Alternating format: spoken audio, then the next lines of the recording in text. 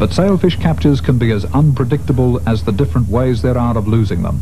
Some fish will swim slow and deep for an hour and a half, unstoppable, while others will shimmy all over the sea and be tagged in minutes. Townsville sport fisherman Ronnie Poole was about to demonstrate yet another variation, the 45-second special.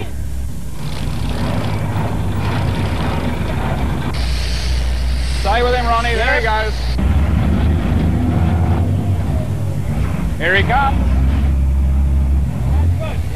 Here he comes. He's to jump. Hey, don't bloody drown me.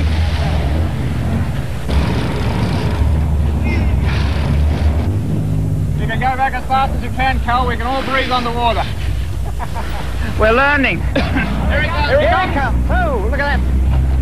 Oh, he's lovely, lovely. Beautiful. Beautiful. Oh, nice. Peg. Whoa. Oh, Whoa. That? Long distance race job.